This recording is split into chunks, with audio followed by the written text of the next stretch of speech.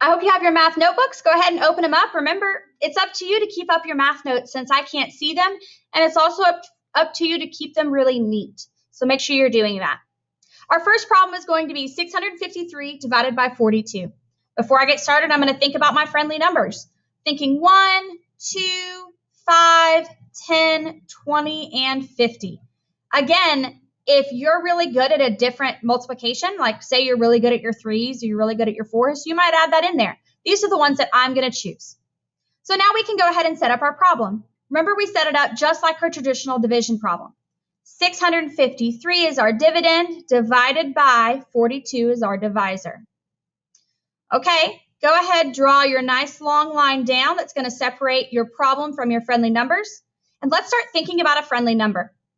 I think I'm just going to go easy in the beginning here and say 10 is a great friendly number. I guess I could multiply it by 20. I just don't think that's going to work. So I'm going to go ahead and say 10 is my friendly number. That gets me 420 because remember, all I do to multiply by a 10 is just add a zero to the end. So 42 times 10 would be 420. Now let's subtract. 3 minus 0 is 3, 5 minus 2 is 3, 6 minus 4 is 2. 233. Hmm.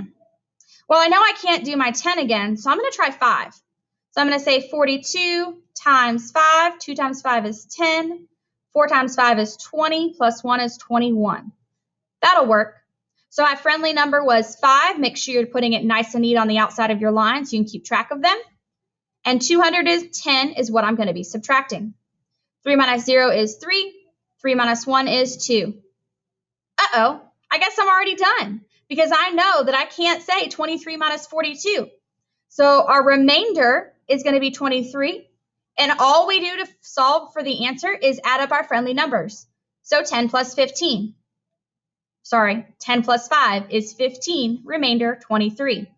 That one was pretty easy. Let's move on to the second one because I bet it's going to be a little bit more challenging. 1,500 44 divided by 34. Again, I'm going to think about my friendly numbers. I've got 1, 2, 5, 10, 20, 50. 34 is a pretty small number, and 1,544 is a pretty big number. So I'm going to multiply by 50 and see what happens. 34, that needs to be a 4, times 50. 4 times 5 is 20. 5 times 3 is 15, 16, 17. Oh no, it's too big. I bet if I drop down to 20, that's going to be way too small. Hmm, let's try it anyway. 34 times 20. 2 times 4 is 8. 2 times 3 is 6. 680.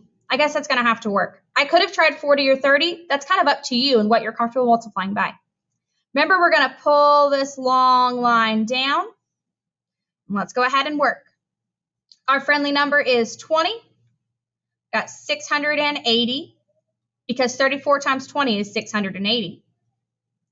4 minus 0 is 4.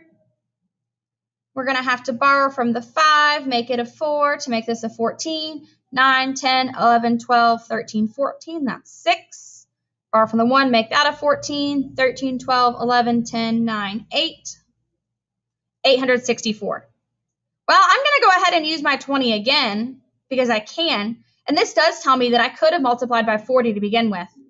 That's my mistake. And it doesn't really matter as long as you get the same answer. We're going to go ahead and take minus 680 again. 4 minus 0 is still 4. 16 minus 8 is 8. 7 minus 6 is 1. Okay, I can't take 680 again, so I have to figure out what I can multiply by 34 to get to close to 184. I know it has to be less than 10 because 10 times 34 would be 340. So let's try that 5. 34 times 5. 4 times 5 is 20. 3 times 5 is 15, 16, 17. That'll work. So my friendly number is 5, and I've got 170. 4 minus 0 is 4. 8 minus 7 is 1. So I know I have a remainder of 14. Let's go ahead and add up our friendly numbers. 20 plus 20 is 40, plus 5 is 45. 45, remainder 14. I think this way is a little easier in some ways in the area model because I don't have to draw a box or anything. So it's kind of up to you and what you prefer. Go ahead and find your math book, and we're going to start working through some of these problems together.